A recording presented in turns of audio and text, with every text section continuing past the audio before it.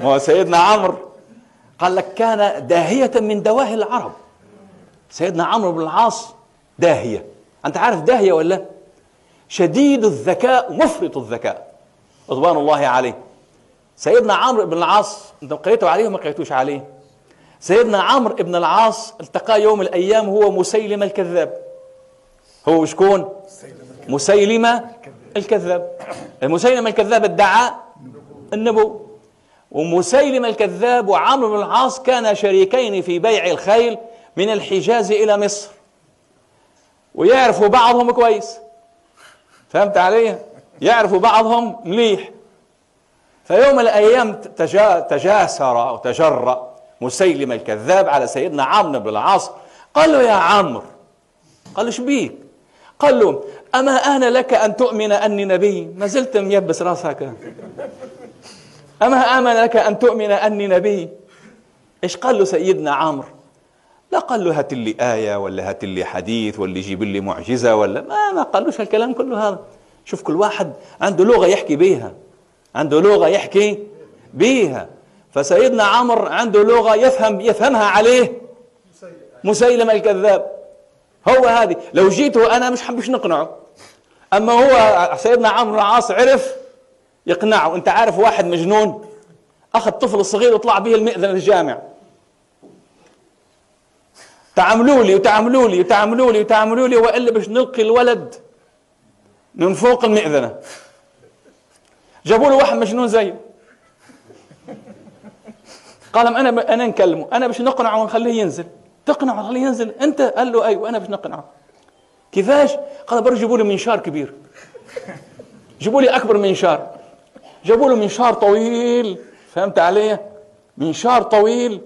وقال له تنزل ولا ننشر المئذنة؟ قالوا لا بنزل. قالوا طيب خلاص. فهمت علي؟ فسيدنا عمرو بن العاص عرف يخاطب مسيلم الكذاب. هذا في بلاد الشام شو بيسووه؟ يسموه في بلاد الشام زقرت. إيش معناها زقرت؟ يعني واحد فتوة يمشي دائما يكون مع الشيخ. بس في ناس ما تعرفش تفهم إلا باللغة اللي يعرفها زقرت. فهمت علي ولا لا؟ لازم الشيخ يكون معاه واحد زقرت. بيقول لغة العصر اليوم جارد بس جارد كل ما يضربش. أما الزقرت بلسانه. يعرف يجاوب يعني على طول يعرف يجاوب. فهمت علي؟ فسيدنا عمرو بن العاص رضي الله عنه تعرف إيش قال له؟ قال له يا مسيلمة أنت تعلم أني أعلم أنك كذاب. يا مسيلمة أنت تعلم أني أعلم أنك كذاب. ليش تسأل فيه تحرج في روحك وتحرجني وتحرج نفسك. ماني عارفك. يعني على مبدأ مش علينا يا مسيلمة يا حارتنا ضيقة ونعرف ونعرف بعضنا. عمرو بن العاص من جميل ما قرأت لسيدنا عمرو بن العاص في فتوحات الشام. من جميل ما قرأت لسيدنا عمرو بن العاص في ذكائه ودهائه. وهذا بشيء يخلينا يعطي يعلمنا حاجة أن المسلم لما يتدين مش معناها ذلك يصير درويش.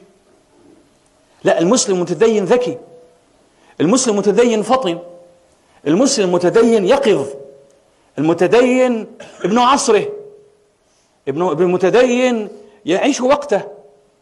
ليس معنى ذلك المتدين الذي يمشي مطأطئ الرأس لا أبدا. سيدنا عمر نعم ضرب أحدهم بالدرة وقال يا هذا ارفع رأسك لا تمت علينا ديننا لا تمت علينا ديننا. من جميل ما قرأت عن سيدنا عمرو بن العاص رضوان الله عن أصحاب رسول الله جميعا. لما كان في فتوح الشام أرسل وكان قائدا من القادة أرسل عيونه إلى قائد إلى ملك الروم.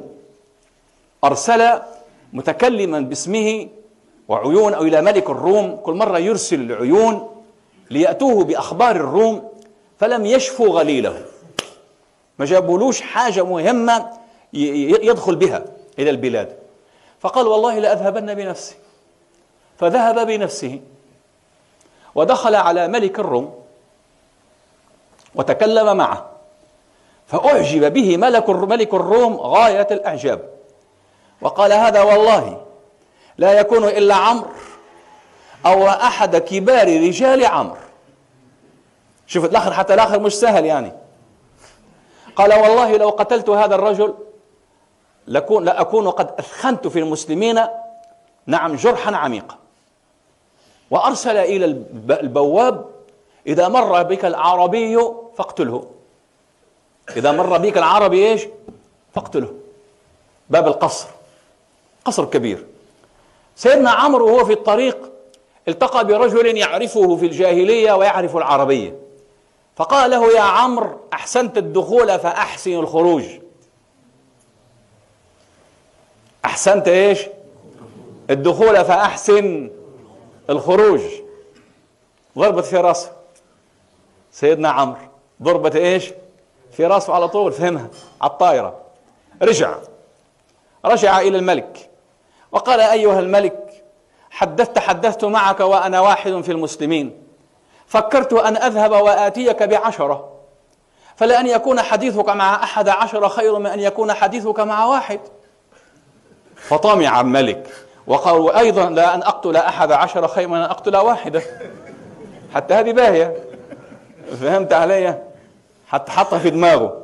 فقال إذا مر بك الأعرابي فأذن له خليه يعدي. فلما خرج سيدنا عمرو قال والله لا عدت. والله ماني راجع مرة أخرى. طبعا مش حيرجع مرة أخرى.